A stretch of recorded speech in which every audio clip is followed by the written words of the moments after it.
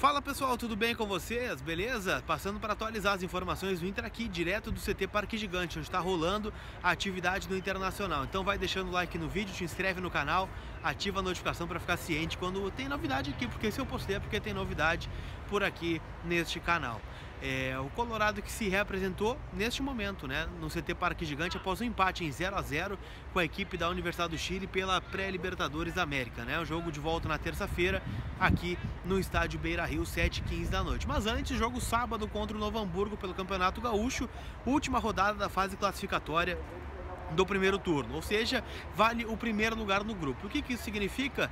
Que significa a chance de decidir a semifinal no outro final de semana dentro do Beira-Rio. E hoje o adversário do outro lado seria o Grêmio. Então, para esse jogo a tendência é de um time misto, né? Alguns titulares, alguns garotos também podem aparecer como novidades, inclusive é que a maioria que está treinando é de garotos do celeiro de.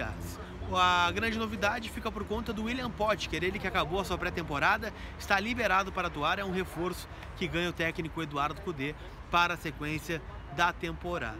O... Três jogadores foram ausências aqui no trabalho, né, que jogaram no Chile. O goleiro Marcelo Lomba, o volante Edenilson e o zagueiro Vitor Cuesta ficaram realizando apenas trabalhos físicos dentro da academia. Então, como eu disse, o time deve ser aí um misto, né? Até porque a lista da base, né, que foi utilizada em Erechim já não pode ser utilizada mais por conta do regulamento. Então os garotos que estiverem na lista definitiva e alguns reservas, né? Acho que um time muito próximo àquele que atuou contra a equipe do Juventude na estreia do Campeonato Gaúcho. O zagueiro Roberto, que ficou fora do jogo contra a equipe do Ipiranga lá em Erechim, porque tinha uma lesão, uma pancada que tinha levado no jogo contra a equipe do Juventude, já está treinando, está à disposição do técnico Eduardo Cudê né, que fará mais um jogo à frente do Internacional neste sábado no estádio Beira Rio, beleza? Fica com imagens aí do CT Parque Gigante então, né, nesse pôr do sol, treino à tarde, ainda vai pegar um pôr do sol aí a galera né, que está treinando aqui no CT, beleza?